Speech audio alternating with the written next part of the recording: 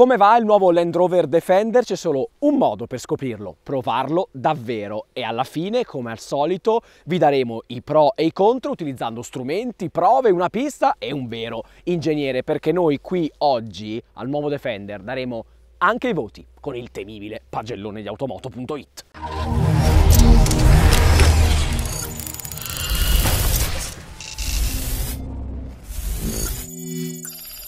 Beh, lo sanno tutti che cos'è il Defender, l'erede diretto di uno dei fuoristrada più leggendari della storia, ma cerchiamo di andare oltre le apparenze e di scavare un po' più in profondità per scoprire cosa si nasconde davvero dietro al suo design, che tra l'altro mi piace assai. Beh, non più un telaio a longheroni. Il nuovo Defender sfrutta una scocca autoportante in alluminio, come tutti gli ultimi modelli Jaguar Land Rover di alta gamma. E, come tutti i SUV, non ha più il telaio separato dei fuoristrada nudi e crudi, come Jeep Wrangler, Toyota Land Cruiser e Mercedes Classe G. Le sospensioni ora sono indipendenti e raffinatissime. Davanti quadrilateri, dietro multilink, semplicemente il top. Poi ci sono molle ad aria e sospensioni a controllo elettronico che su questa versione a passo lungo 110 sono di serie. Tradotto, ora viaggiare su asfalto anche per tante centinaia di chilometri non è solo possibile, ma anche super confortevole. Gli inglesi hanno fatto un ragionamento che non fa una piega. La maggior parte dei clienti guiderà quasi sempre su strada, quindi miglioriamo la dinamica di guida in queste condizioni, vero tallone d'Achille del vecchio Defender. Ma attenzione a non lasciarsi trarre in inganno troppo frettolosamente dalle apparenze, perché questo nuovo scheletro è comunque robustissimo e permette al Defender ancora oggi di fare cose semplicemente incredibili in fuoristrada. La trazione integrale del resto è permanente. Ci sono due differenziali bloccabili a controllo elettronico, centrale e posteriore, quello dietro è optional. Non mancano poi le ridotte. Il corpo vettura si può alzare di 14 cm, un'enormità, grazie alle molle ad aria. E le ruote hanno un'escursione pazzesca, fino a 50 cm. Insomma, volendo in off-road con quest'auto si possono fare cose veramente assurde e anche estreme. Certo, è vero, è pur sempre diventato un SUV tecnicamente, strutturalmente, però è pur sempre unico perché è il SUV più estremo che esista oggi per chi vuole fare davvero off-road. Eh, del resto nessuno dei suoi concorrenti può vantare un pedigree così raffinato per la guida lontano dall'asfalto.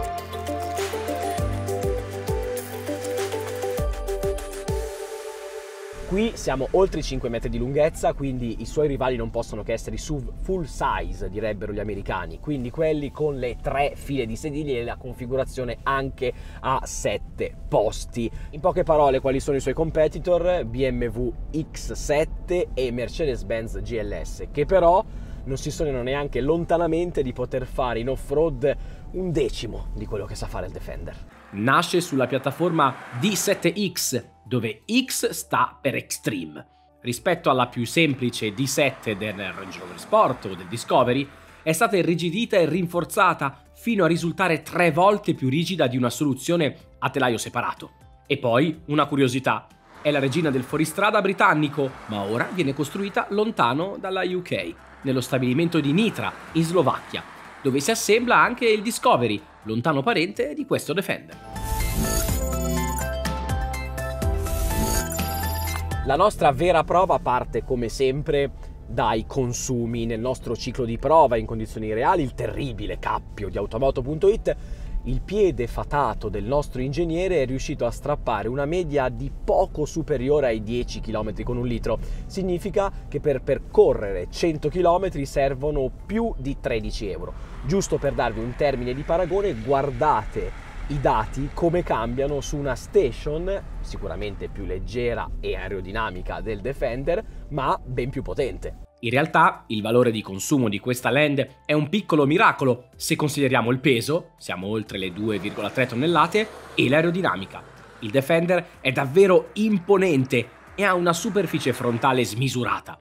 In più, trazione integrale permanente gomme M più S di serie non aiutano di certo. Merito del motore 2000 diesel 4 cilindri Ingenium biturbo da 240 cavalli, che ha permesso comunque di limitare egregiamente il consumo di carburante anche su un bestione come questo. A parità di potenza un benzina avrebbe sicuramente fatto molto peggio e per la cronaca il nuovo Defender consuma meno del vecchio a parità di alimentazione. In ogni caso, chi non avesse problemi al distributore può sempre optare per il 6 in linea benzina con tecnologia mild hybrid da 400 cavalli. Ma tenete presente che il mild da 48 volt è arrivato nel frattempo anche sul nuovo dieselone, sempre 6 cilindri in linea, che di cavalli ne ha anche 300. E che nel frattempo è arrivata pure una versione plug-in, ma solo con il 4 cilindri a benzina a passo lungo. Insomma, se volete motori particolari, il Defender ne ha uno per tutti i gusti. È vero, è pur sempre un fuoristrada, ma ora è anche un SUV, progettato per fare la differenza nella guida su asfalto, soprattutto rispetto alla vecchia generazione e in condizioni che poi saranno quelle in cui guideranno la stragrande maggioranza dei nuovi clienti Defender. Ecco perché la nostra prova strumentale si svolge prima di tutto su asfalto, l'ingegnere l'ha messo sotto torchio con i nostri strumenti e ne ha scoperte delle belle. Prima di tutto, il Defender accelera alla grande.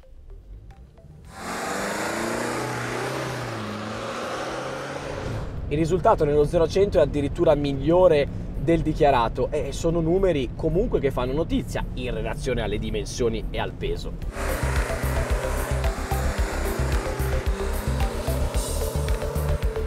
Ma anche la frenata ci ha stupito.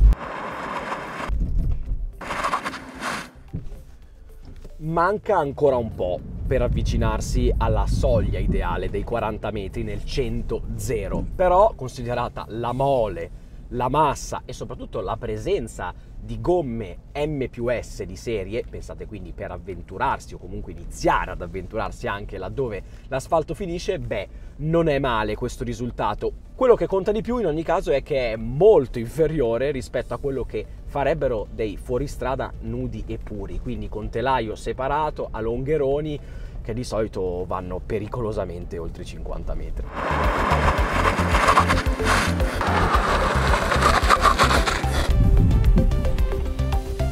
Davvero positiva poi la ripresa, a tratti la definirei poderosa, soprattutto portando il selettore in S nella modalità di guida più sportiva che tira di più le marce. Insomma, il sistema di sovralimentazione biturbo c'è e si sente. Cosa ci dicono questi numeri? Beh, che la scelta di abbandonare il telaio separato ha ripagato alla grande nella guida su strada. Il Defender accelera, frena e riprende meglio di qualsiasi altro fuoristrada con telaio a longheroni sulla piazza.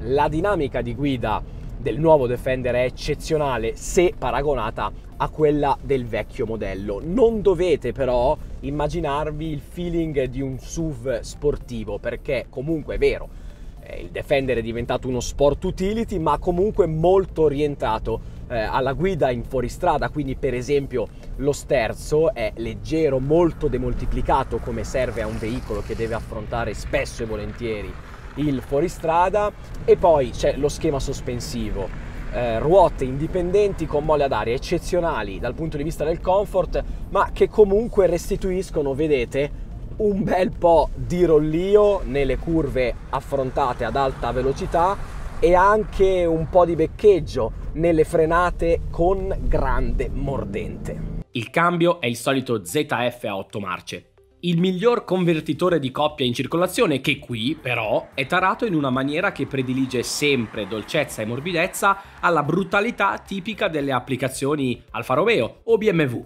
giusto per fare due esempi ma siamo alla prova parcheggio, una vera impresa per un bestione di 5 metri.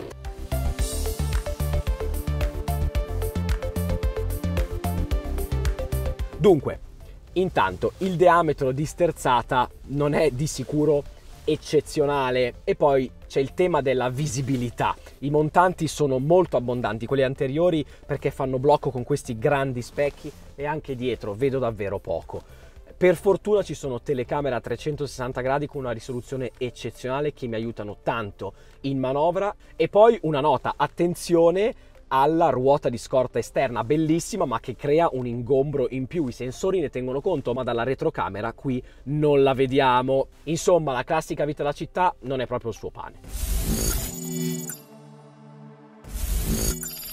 L'assorbimento delle sospensioni è davvero ottimo e ci mancherebbe altro, visto che abbiamo il top di gamma, favolose molle ad aria. L'insonorizzazione invece non raggiunge livelli di rilievo assoluto, ma considerata la mole, la superficie frontale, l'abitacolo si può considerare comunque confortevole. Vi mostro i dati di un SUV a benzina molto buono dal punto di vista dell'insonorizzazione per darvi un termine di paragone. Quello che si percepisce di più è un po' di rumorosità proveniente dagli specchi, che sono veramente ampi.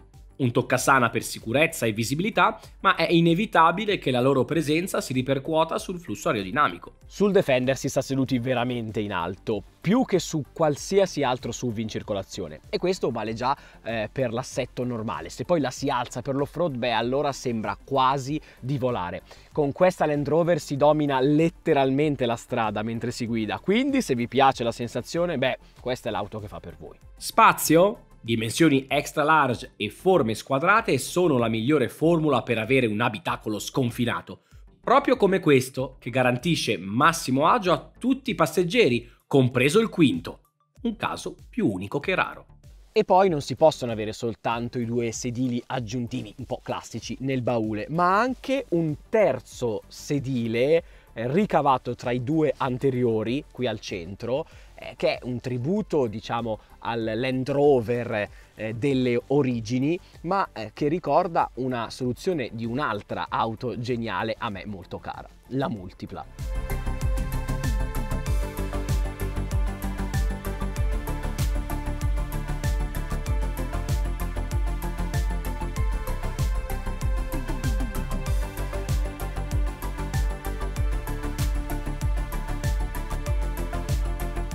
E il baule, il nostro ingegnere ha misurato come sempre il volume litro per litro. E ha scoperto un vano veramente enorme, degno di un SUV di 5 metri. Certo, non siamo vicini ai valori fin troppo ottimistici dichiarati dalla casa, ma c'è comunque tantissimo spazio, come testimonia la prova con le prodigiose valigie cinesi. Guardate quante siamo riusciti a caricarne. Il portellone è incernierato lateralmente come vuole la tradizione e questo è sicuramente un bene, così come il fatto di aver riproposto eh, l'immancabile ruota di scorta posteriore e ci mancherebbe. Attenzione però perché è un po' pesante da azionare e non è comodissimo, serve tanto spazio per poterlo aprire completamente. I sedili si possono abbattere con il classico frazionamento. Il piano di carico è piatto e robusto. Ci sono ganci a volontà e addirittura una presa di corrente alternata col 220 e ci mancherebbe, visto che siamo su un'auto pronta a tutto. Ma attenzione alla soglia, è veramente altissima. Per fortuna si può abbassare un po' agendo sugli appositi tasti che regolano le molle ad aria e di conseguenza l'altezza del mezzo. E la qualità? Le minuziose indagini del nostro ingegnere hanno rilevato un livello complessivo molto buono, lontano anni luce dalla semplicità spartana del Defender originale. Mi piace il fatto che siano riusciti a fondere in un unico ambiente raffinatezza, praticità, ma comunque evocando con forza il mondo dell'avventura. Gli assemblaggi interni sono rigorosi e i materiali, nonostante siano per lo più plastici, sono di ottima qualità. Bellissime le porzioni di carrozzeria a vista con viti Torx, così come la traversa di magnesio presso fusa, che offre un appiglio fondamentale in off-road. Attenzione solo agli accoppiamenti di carrozzeria esterni che, soprattutto nella zona del portellone, non sempre sono impeccabili. E poi una caduta di stile. Il mandorlato sul cofano ci voleva, ma non di plastica. Che lei sia un'auto di sostanza lo capiamo anche dai dettagli. Prese d'aria e griglie qui sono vere, non finte, anche perché qui volendo ci si può attaccare un vero snorkel. Ma attenzione perché siamo alla prova portiera, quindi orecchie dritte. Ok, non sarà il suono più felpato che abbiate mai sentito, ma chiunque abbia mai chiuso lo sportello di un vecchio Defender sa bene che non c'è paragone. Nonostante le guarnizioni, come vedete, siano abbondanti e di buona, ottima fattura, durante la marcia abbiamo avvertito qualche scricchiolio di troppo proveniente dalle portiere e anche eh, dal parabrezza. Ok che siamo su una macchina pensata anche per l'off-road nudo e crudo, però considerato il costo forse si poteva curare un po' di più questo aspetto. In compenso i sedili sono davvero ben fatti e sono pure comodi e le tasche sono tutte rivestite in gomma. Dietro ci sono bocchette di ventilazione dedicate e in tutto l'abitacolo sono sparse una miriade di prese di ogni forma e tipo. Non ho apprezzato i tasti al volante che sono realizzati attraverso un unico pezzo in materiale plastico e non trasmettono una bellissima idea eh, di solidità. Quando vengono azionati poi la ghiera qui del volume non è retroilluminata eh, di notte e poi il bracciolo centrale quando ci si appoggia produce qualche scricchiolio di troppo.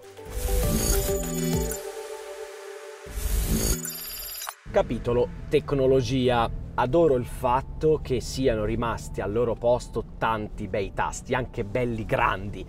Aumentano la sicurezza e sanno proprio di Defender. In ogni caso poi ci sono tutti i display che volete. Quello della strumentazione ha una bellissima risoluzione, è molto ricco eh, di informazioni, soltanto qualche qualche animazione va un po' a scatti, secondo me, e poi bisogna imparare a orientarsi nei menu che sono sempre molto contorti. All'inizio, perlomeno, si fa un po' di fatica a trovare la quadra. Bello anche il display centrale da 10 pollici, moderno, connesso, bello rapido al tocco, eh, nonostante sia migliorato notevolmente rispetto all'ultimo sistema multimediale del gruppo Jaguar Land Rover, io ho comunque preferito utilizzare quasi sempre Apple CarPlay o Android Auto, che per fortuna ci sono e sono ben implementati, anche se via cavo. Davvero bello e utile poi lo specchietto, l'abbiamo già visto su altre Land Rover recenti come la nuova Evoque, si può avere quello classico elettrocromico per non farsi abbagliare, ma anche interamente digitale con le immagini trasmesse da un'apposita telecamera. Pazzesco poi il clima trizona, optional da quasi 1500 euro, che offre anche lo ionizzatore. Diverso invece il discorso per i sistemi di assistenza alla guida. Sì, perché il cruise control adattivo non è di serie, si può avere ma soltanto a pagamento. Io per esempio sul mio esemplare non l'ho trovato e mi sono un po' stupito, considerato il prezzo e il valore di questo nuovo Defender. E poi il mantenitore attivo di traiettoria non è disponibile neanche a pagamento, quindi non si può avere una guida assistita piena di livello 2. Anche questo un po' mi ha sorpreso. In compenso gli altri sistemi di assistenza alla guida che ci sono, come frenata automatica di emergenza e monitoraggio degli angoli ciechi, funzionano bene e non sono mai invasivi. Ditemi la verità, anche voi vi state innamorando del nuovo Defender, ma non sapete come fare a comprarlo e a mettervelo in garage. Beh, allora cerchiamo di andare al di là dei soliti sterili, gelidi e inutili prezzi di listino. Il prezzo ufficiale di questa versione parte da 77.000 euro, a cui bisogna aggiungere 2.300 euro di optional presenti sul nostro esemplare. Online non si trovano grandi sconti rispetto al listino, ma se si è disposti a rinunciare alla nostra First Edition, il Defender lo si può portare a casa con 60.000 euro. Un bel po' meno quindi per un allestimento S, che è quello che consigliamo. Ha comunque tutto ciò che serve, soprattutto se consideriamo che quest'auto, almeno nella filosofia, dovrebbe essere spartana. Si può anche avere con una rata che parte intorno ai 450 euro mensili, con un anticipo di circa 20.000 euro. Il costo di mantenimento ovviamente non è dei più vantaggiosi, come accade per tutti i SUV di questa taglia e fascia di prezzo. E a voi ha convinto il nuovo Land Rover Defender con scocca autoportante, non più telaio a longheroni e soprattutto vi è piaciuta questa nuova prova strumentale di automoto.it? Raccontatemi tutto se lo volete nei commenti qui sotto. Ciao da Matteo Valenti, alla prossima prova strumentale.